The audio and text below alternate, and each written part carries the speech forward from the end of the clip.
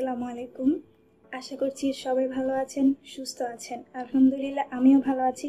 আমি Sanjida Akter Sharmi, official training at Nutripreneur Bangladesh. আপনারা ইতিমধ্যে অবশ্যই এই বিষয়ে অবগত হয়েছেন যে আমরা ঈদুল আজহা উপলক্ষে আমরা আবার আপনাদের পুষ্টি সেবা দেওয়ার জন্য চলে এসেছি। যেমনটা রমজান মাসে আপনাদের সুস্থতার কথা চিন্তা করেই আমরা আপনাদের সব ধরনের পুষ্টি সেবা দিয়ে গিয়েছিলাম। চেষ্টা করব এবারও আপনাদের সামনের ঈদটাকে আরও সুন্দরভাবে উদযাপন যেন করতে পারেন সুস্থ স্বাভাবিকভাবে। আমরা হয়তো এখন থেকে অনেক একটা লিস্ট তৈরি করে ফেলেছি যে আমরা ঈদের দিন কি কি খাবার দিয়ে আমরা ঈদ উদযাপন করব।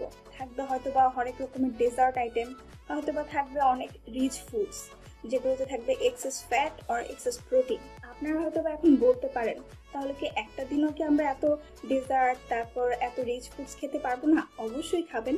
তবে অবশ্যই লিমিটেশন রেখে খাবেন।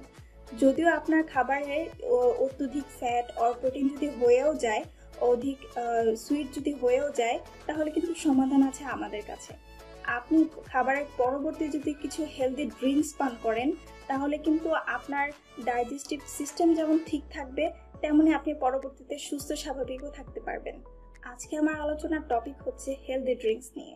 ঈদ পরবর্তীতে, অর্থাৎ ঈদের খাবার বা যে কোনো সময়ে আপনি যদি বেশি ফ্যাট খেয়ে ফেলেন বা বেশি প্রোটিন গ্রহণ করে ফেলেন, বেশি সুইট গ্রহণ করে ফেলেন, তাহলে আপনার যে সমস্যাগুলো হতে পারে তা থেকে রেহাই পাওয়ার জন্য আপনার অবশ্যই কিছু স্বাস্থ্যকর পানীয় গ্রহণ করা উচিত। আমরা সবাই জানি পানির অপর নাম জীবন। পানি ছাড়া কিন্তু আমরা চলতেই পারব না। আমাদের ডাইজেস্টিভ ট্র্যাক সুস্থ স্বাভাবিক রাখার জন্য, সচল রাখার জন্য পানি অবশ্যই প্রয়োজন। প্রতিদিন পুরুষদের জন্য minimum three litres per day গ্রহণ করা উচিত পানীয় এবং মহিলাদের জন্য আইওএস কর্তৃক অর্থাৎ ইনস্টিটিউশন অফ মেডিসিন কর্তৃক এই রিকোয়ারমেন্ট দেওয়া হয়েছে যে minimum two litres per day অবশ্যই এর বেশিও আপনি পান করতে পারেন। আমাদের মধ্যে অনেকেই হয়তো বা আছেন যাদের চা ছাড়া সকালটা শুরুই হতে চায় না। তারা যদি চায়ের ক্ষেত্রে একটু লক্ষ্য দেন, অর্থাৎ চাটা যদি একটু স্বাস্থ্যসম্মতভাবে গ্রহণ করেন, যদি আপনার চাটা দুধ চা না হয়ে আপনি যদি গরম গ্রিন টি বা রং চা বা মশলা চা, আদা চা এসব যদি গ্রহণ করেন, তাহলে আপনার দেহ, মন উভয় সতেজ রাখতে খুবই সহায়ক ভূমিকা পালন করবে। হেলদি ড্রিঙ্কস নিয়ে আলোচনা শুরু করব। আমি লেবু শরবত দিয়ে আমরা জানি লেবুতে রয়েছে প্রচুর পরিমাণে ভিটামিন সি, আয়রন ম্যাগনেসিয়াম এবং পেকটিন নামক ফাইবার এছাড়াও রয়েছে, হচ্ছে অ্যান্টিঅক্সিডেন্ট যা আমাদের রোগ প্রতিরোধ ক্ষমতাকে বৃদ্ধি করতে সহায়তা করে। আমাদের হজমে কিন্তু খুবই গুরুত্বপূর্ণ ভূমিকা পালন করে এই লেবু শরবত। আমাদের দেহ হতে আননেসেসারি এবং ক্ষতিকর পদার্থ বের করে দিতে সাহায্য করে লেবু পানীয়, ফলে ইউরিনেশন ভালো থাকে এবং লিভার ভালো থাকে। যারা হাই ব্লাড প্রেশার পেশেন্ট আছেন, তাদের জন্য কিন্তু লেবু পানীয় খুবই গুরুত্বপূর্ণ। কারণ এই এই লেবু পানীয় আপনার ব্লাড প্রেশারকে নিয়ন্ত্রণে নিয়ন্ত্রণে রাখতে সহায়তা করে। এছাড়াও ব্লাড ক্লিয়ার রাখতেও সহায়তা করে এই লেবু পানীয়। মনকে সতেজ রাখতেও কিন্তু এর কোনো জুড়ি নেই। এছাড়াও যারা ওজন নিয়ন্ত্রণ করতে চান, তাদের জন্য কিন্তু লেবু পানীয় খুবই গুরুত্বপূর্ণ। প্রতিদিন সকালবেলা আপনারা যদি গরম পানির সাথে আপনারা কিছুটা লেবু রস যোগ করে খেতে পারেন, আপনাদের মেদ ভুঁড়ি কমাতেও কিন্তু খুবই উপকারী এই লেবু পানীয়। কারণ এই লেবুতে যে প্যাকটিন নামক ফাইবার আছে, তা কিন্তু কোলেস্টেরল কমাতে সহায়তা করে। এবার কিছু বলি অপকারিতা নিয়ে। যারা লো ব্লাড প্রেশার পেশেন্ট আছেন, তারা অবশ্যই এটি এড়িয়ে চলবেন। কারণ আমি প্রথমেই বলেছি যে, যাদের ব্লাড প্রেশার হাই তাদের জন্য এটি অনেক উপকারী। কারণ ব্লাড প্রেশারটা কমিয়ে দিতে তারা সাহায্য করে এই লেবু পানীয়। যাদের হচ্ছে গ্যাস্ট্রিকের প্রবলেম আছে, তারা অবশ্যই চিকিৎসকের পরামর্শ অনুযায়ী হচ্ছে আপনারা গ্রহণ করবেন এই লেবু পানীয়। অতিষ্ঠ গরমে কাঁচা আমের কোনো জুড়ি হয় না। পটাশিয়াম রয়েছে যা আমাদের দেহকে সতেজ রাখতে সহায়তা করে। এছাড়াও আমাদের দেহ হতে যে অতিরিক্ত ঘামে সোডিয়াম ক্লোরাইড, আয়রন ইত্যাদি বের হয়ে যায়, তা পূরণেও সহায়তা করে কাঁচা আমের জুস। এছাড়াও পাকা আমে ভিটামিন বি থ্রি রয়েছে যা ব্যাড কোলেস্টেরল কমাতে সহায়তা করে। লিভার ডিজিজের ক্ষেত্রেও খুবই গুরুত্বপূর্ণ ভূমিকা পালন করে।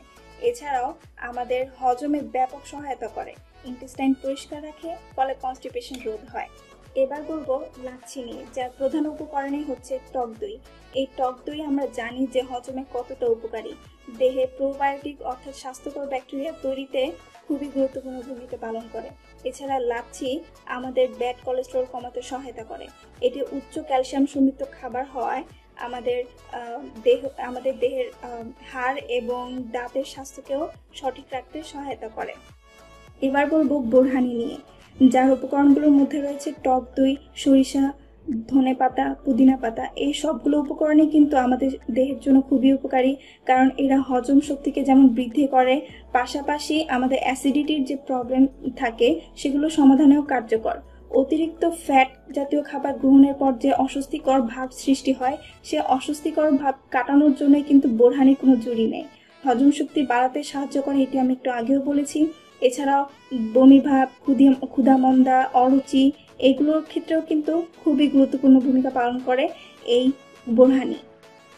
যারা দুধ খেতে পারেন না, অর্থাৎ যাদের দুধ খাওয়া চিকিৎসকেরা নিষেধ করে দিয়েছেন তাদের দৈহিক কোনো সমস্যার কারণে, তারা কিন্তু টক দই অথবা দই অথবা দুধের তৈরি অন্যান্য প্রোডাক্টস আপনারা অনায়াসে খেতে পারেন। তারা আরও কিছু ফলের জুস আমরা অ্যাড করতে পারি, যেমন apple juice banana milkshake ইত্যাদি, এগুলো কিন্তু হজমে খুবই গুরুত্বপূর্ণ।